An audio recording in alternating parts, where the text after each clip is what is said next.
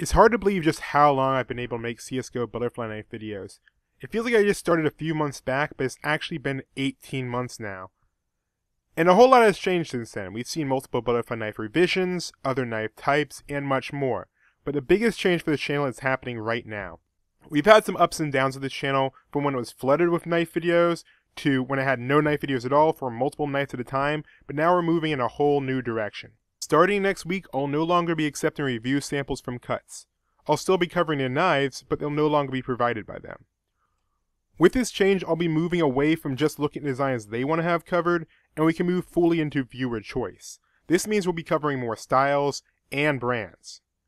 There are a few key reasons behind this, but we're not going to go into them right now. But any videos started after December 1st will be in this new style. Now, trying to make a dramatic change like this is bound to cause some problems. Making knife videos on YouTube is hard enough. YouTube's already trying to kill off my knife videos. First, as many of you may know, they've been sending out bots to demonetize videos, and yes, that hit quite a few of my videos, even some of my non-knife related ones. And the few to our left have had their values decimated, huge drops in the values of anything knife related. Here are some quick examples. Look at this. How to use a PS4 on an old TV. For that video I'd earn $1.69 for each thousand views. How to recover data from a dead hard drive. From that, I'd earn $2.06 for each thousand views. Yet my number one most popular video for last month was the Gamma Case review, and that's only worth 32 cents for a thousand views. Butterfly Knife Dragon Trainer, 29 cents for a thousand views.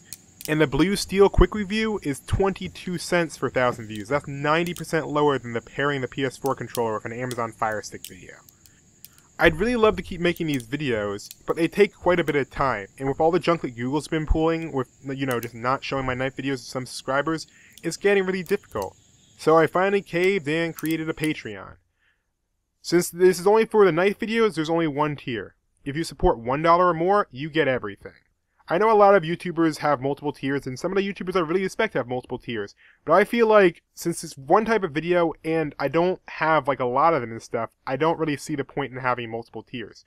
I feel like anyone who's going to actually feel like who likes the series enough to contribute anything should all get all the rewards. If you support more, then thank you, that's awesome, but I don't think that it should be, I should be encouraging people to support more.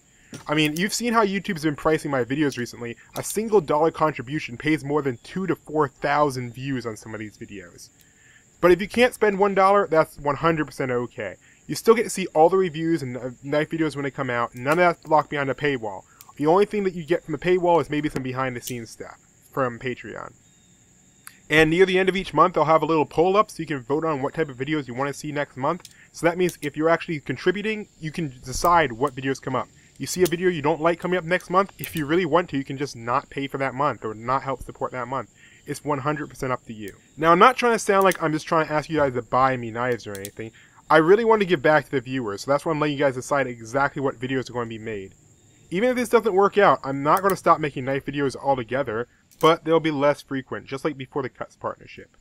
Basically, this is mainly just so you guys can get more knife videos. You want more consistent knife videos, like every week or every month or something like that, this is what this is mainly for. This will make it so I can actually sustain the actual knife videos, because otherwise it's not really worth it to spend like multiple hours a day just on small parts of the videos just for something that I mean I really really enjoy making the videos and I'm glad that you guys enjoy watching them too but I don't have a ton of spare time so sp spending a lot of spare time on a knife video, which I kind of enjoy, versus a technology video, which will make me significantly more money.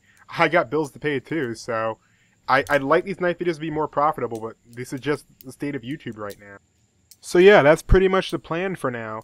Upcoming in December, we're going to be doing the first trial run of this new process. I'm going to be looking at the Cuts flip knife, which should be pretty interesting. I know a lot of you aren't super big on the flip knife, but it's the first knife I ever had in CSGO, so it'll be cool looking at a realistic version of it.